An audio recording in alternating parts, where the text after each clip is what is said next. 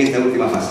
Bueno, José, el tema de la pesca todavía sigue siendo un tema que anila mafias. O sea, a pesar de que este decreto legislativo que pidió Rafael Rey y que vimos con buenos ojos en su momento, eh, cuando estuve en el Ministerio de la Producción, sin embargo, de un tiempo a esta parte, ¿cuál es la relación? Lo que veo es que todavía no se han eliminado las mafias hay mafias, no solamente de sindicatos, sino también hay mafias en cuanto a la producción, al escamoteo de ingresos a favor del Estado y del producto que debe llegar a la población mayoritaria. ¿Estamos en eso?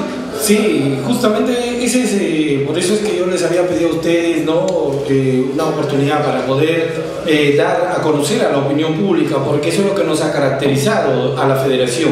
Decir las cosas con los puntos sobre las sillas, nosotros no tenemos temor porque e inclusive hemos, hemos sido víctimas de persecución, atentado, hemos atentado, han atentado contra nuestro medio de comunicación, contra la radio en la cual laborábamos en, en Qué ¿En qué época ha sido? Aproximadamente hace este dos años. ¿En este régimen? No, en este régimen ya no, no han, han cedido un poco por cuanto, como bien decía el doctor, se logró el, decreto supremo 1084, eh, mediante el cual eh, se han obtenido eh, unos logros sustanciales para los trabajadores, pero no por ello, como bien lo dice el doctor, las mafias siguen operando, se sigue trabajando de una manera solapada, se está dando una pesca para la anchoveta, disque para consumo humano directo vía las, la conserva, sin embargo a nosotros perdón, se nos paga como si fuera la anchoveta para la harina. Y gran parte, imagínense usted, y esto que lo escuche el señor ministro, a quien estoy pidiendo una entrevista como secretario general de la Federación, para denunciarle, ya le he denunciado públicamente, señor ministro, de la pesca que se está llevando a cabo, del 100%, solamente se está utilizando un 20% para la conserva. El 80% restante que se está pescando, se está deteriorando, eh, el volumen de la biomasa se está destinando así abierta y, disculpen el término, eh, eh, de manera, de, hay tal sinvergüencería que ellos dicen que vamos a ir a pescar para la harina de pescado.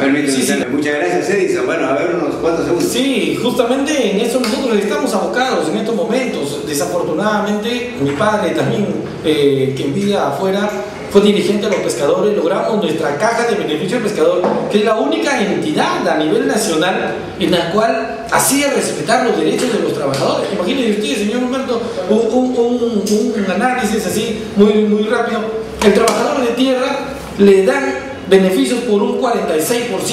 Sin embargo, nosotros, la gente de mar, nos daban los beneficios en un 55% eh, con respecto a lo que nosotros percibíamos. O sea, una entidad que las mafias, que bien decía el doctor, no solo se han dedicado a depredar el mar, sino también han querido menoscabar los derechos de los trabajadores. Y eso es lo que yo quería denunciar. Le agradezco a usted de antemano, pero como bien lo dice eh, el, el amigo, la verdad que al trabajador le quieren quitar lo poco que nos queda. Y la caja de beneficios del pescador es el último motín que quieren traerlo abajo los armadores pesqueros en complicidad con este gobierno que también asolapadamente dice no, no, que está a favor de nosotros, pero sin embargo no hace nada. Disculpe usted, muchísimas Muchas gracias, Roseo. Habrá para más.